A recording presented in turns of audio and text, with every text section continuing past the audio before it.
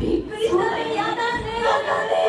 お姉さんもずっとずっと皆さんと一緒にいたいよ、ね、じゃあさ、はい、最後は、はい、皆さんといっぱいの笑顔を作って思い出に残して帰りたいので、はい、くまモンとのご縁のこの歌最後に歌っていいかなえりこお姉さんはいそれではハッピーくまモンですね皆さんも元気いっぱいの掛け声でご参加お願いします。それでは元気に参ります。ハッピー